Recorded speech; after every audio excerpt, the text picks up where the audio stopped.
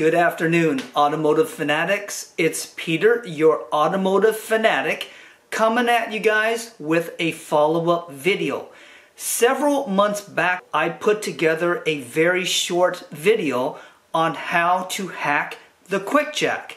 That video ended up being a very popular uh, video amongst QuickJack owners who wanted to see how to hack their QuickJack to make it much easier to move around on a flat surface.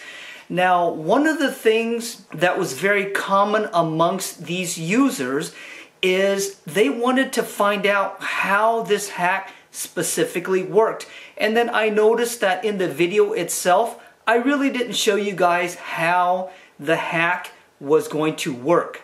So today, what I wanted to do was to put together a very short follow-up video to show you exactly how the hack helps your QuickJack on how it rolls around and what happens to the QuickJack when you're actually using it. So without further ado, let's go ahead and put this to the test so that you guys can see exactly how the hack works on the QuickJack. So here you can see the front balls that I have and the um, rear bearing, it's a little hard to see, but it rests very similar to this. Now right now these arms are resting on the ball and that allows the QuickJack to move around.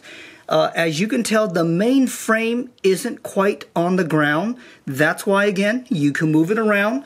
When we go ahead and lift it up slowly, let's do that.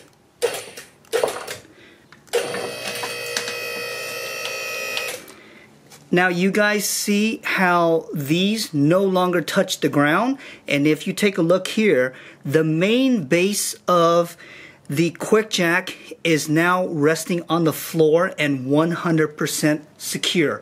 So that's how it works guys.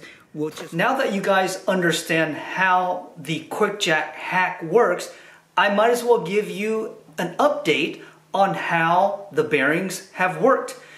It has been several months since I installed them and I have used my lift, I would say at least 50 plus times, rolling them back and forth, probably even more. At this point, they have performed flawlessly, no problems at all. The only issue that I run into is the QuickJacks when they're sliding on my garage floor, it will uh, kind of hit a specific crack in my garage and it'll kind of buckle a little bit, but that's not the fault of uh, the little bearings. It's just my flooring is terrible. For you guys who have smooth floors, I am envious of you. The QuickJack must slide around really nicely. So that's about the only issue that I've had. Um, I have also thought about perhaps taking that larger bearing that I put in the very back and putting them both in the very front so that um, I have more contact with the ground and because the bearing itself is larger, it may move a little faster. So that might be a revision that I do later on in the future. But for the time being, I have no complaints. It has made my life so much easier just to simply slide things around without any difficulty.